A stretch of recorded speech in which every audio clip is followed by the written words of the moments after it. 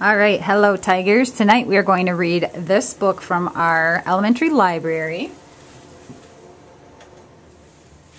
And this book was recommended by our awesome librarian, Mr. Edwards. And I wanted to read a book to you from him to remind you to bring back your library books, Tigers. So search your house, find any of those missing library books, and get them turned back in for the year. All right, this story, Creepy Pair of Underwear, is by Aaron Reynolds with pictures by Peter Brown. I've never read this story before, Tigers. Creepy pair of underwear. Jasper Rabbit needed new underwear. On Thursday, Mom took him to the underwear store and grabbed the last three packages of plain white. But just as they headed for the checkout, Jasper spotted for them. Spotted them. Creepy underwear. So creepy, so comfy. They were glorious. Mom, Mom, can we get these? Jasper pleaded. I think they're a little creepy, Mom said. They're not creepy, they're cool, said Jasper. I'm not a little bunny anymore. I'm a big rabbit now. Mom agreed to buy one pair. That night, Jasper wore his cool new underwear to bed. Do you want me to leave the light on? Asked Dad. Dad, I'm not a little bunny anymore, said Jasper. I'm a big rabbit now. His dad shut the door, and that's when Jasper noticed. The underwear glowed, a ghoulish, greenish glow. He closed his eyes, he pulled up the covers, he buried his face in his pillow, but it didn't help. He could still see that ghoulish, greenish glow. Jasper leaped out of bed and put on a pair of plain white. He stuffed the creepy underwear into the bottom of his laundry hamper. He finally fell asleep. But when he got up the next day, he was wearing the creepy underwear. Jasper threw them into the garbage can. He was still a big rabbit. He wasn't scared of or anything, but he was done with the, with the scary underwear.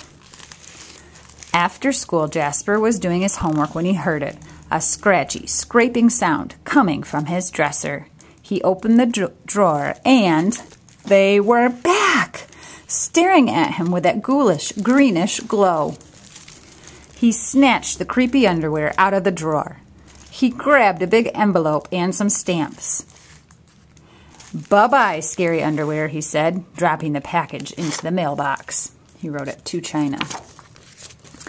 When he opened the front door the next morning, they were there. And were those chopsticks? His creepy pair of underwear had somehow returned from China and it had brought back souvenirs. Jasper grabbed his mom's good sewing scissors.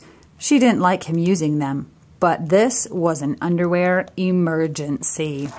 This time, the creepy underwear were gone for good. At bedtime, he slowly opened his underwear drawer. Nothing, just plain white undies. He searched under his bed. He shook out his lampshades. Whew, there was no sign of creepy underwear. He went into the bathroom to comb his ears.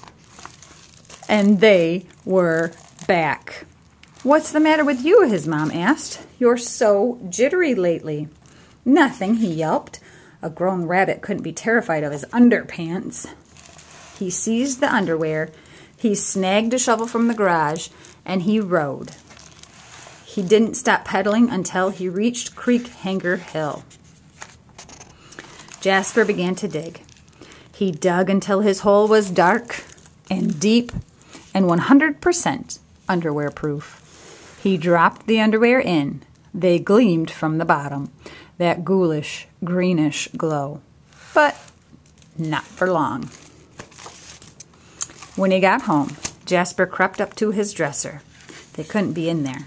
There was no way, right? He reached for the handle. He peeked in. Nothing, just plain white. Jasper smiled and turned out the light. It's very dark.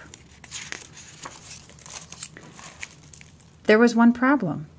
It was really dark in there. Even for a big rabbit. Jasper turned on the light. He looked at his non glowy pair of plain white, and he knew what he had to do.